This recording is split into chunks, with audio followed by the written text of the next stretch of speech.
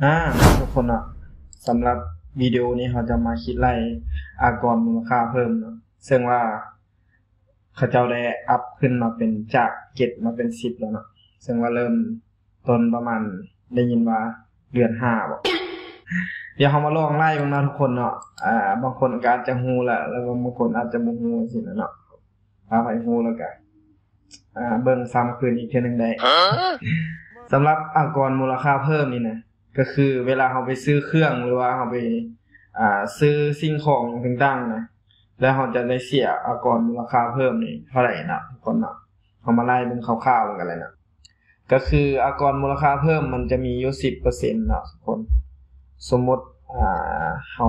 มีข้อมูลแบบนี้เนาะราคาอย่างต่างๆอยู่ประมาณนี้ตัวนี้ PC โน้ตบุ๊กต่างๆกระเป๋า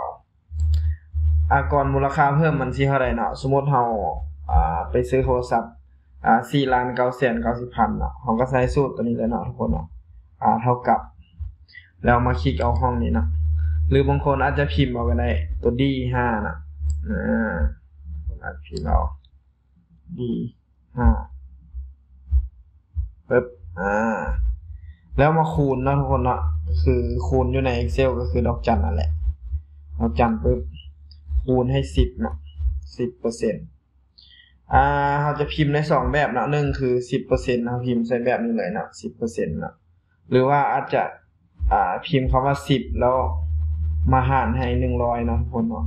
ก็คือตัวนี้เท่ากับอ่าสิบเปอร์เซ็นต์นะนะประมาณนี้ลองกด enter มึงเนะปึ๊บเห็นปะอ่าอากรมูลค่าเพิ่มหรือว่าแวดนะที่เราจะต้องได้เสีย ก็ประมาณนี้เนาะสมมุติเขาซื้ออ่า4ล้าน9แสน90พันเขาก็ต้องได้เสียอยู่อ่า4แสน99พันก็ถือว่าแพงเลยเนาะถือก็ถือว่าหลายเลยถ้าว่าเขาซื้อในจำนวนหลายสินะมันสมมุติเขาซื้อ PC เนาะคอมพิวเตอร์โน้ตบุ๊กเอ่อคอมพิวเตอร์ PC นะสมมุติ12ล้าน7แสนเขาก็ต้องได้จ่ายอยู่ประมาณอ่า1ล้าน2แสนกับ70พันพุ่นเองก็ถือว่าบน ก็ถือว่าบนน้อยบนน้อยเนาะก็ห้องนี้โทโทเนาะโทโทก็คือความหมายก็คือทั้งหมดเนาะรวมทั้งหมดที่เราจะต้องได้จ่ายเนาะ